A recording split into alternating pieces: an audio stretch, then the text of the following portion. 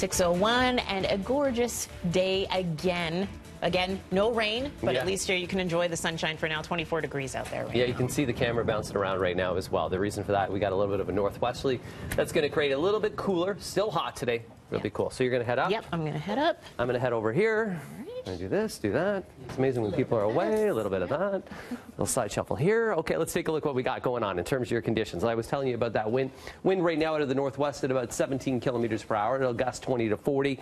So that's going to dry up the air out there. That means that this morning, even though we have a temperature of 23 at Pearson, we have a little bit of humidity right now. It sits at around 28, but that's going to start to work its way out through the afternoon today. We're going to see a daytime high of around 29 with the humidex of about 32. So a much cooler feel than yesterday, but still hot. Hot. 29 degrees is still hot. Tomorrow, a nice looking day as well, 27 under dry conditions. And then on Thursday, 28, humidex of 31. The real humidity, that returns through the weekend, through Saturday and Sunday. That's look at your forecast. All right, thanks a lot. Well, we're in great shape so far on the major routes. We're starting to see delays build westbound on the 401, uh, just around the 412. So as you're traveling through the Whitby area into Ajax, it is starting to fill in. Eastbound lanes of the 401, they're getting busy as well from Mississauga Road over to Mavis, but they are running problem free.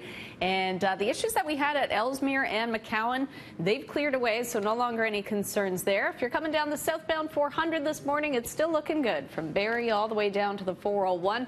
Southbound 404 Don Valley Parkway, that hasn't really filled in just yet. And the QEW, that's still running at the limit. Uh, Toronto bound lanes looking good from Burlington all the way into Mississauga. Tammy, I'll send it back to you.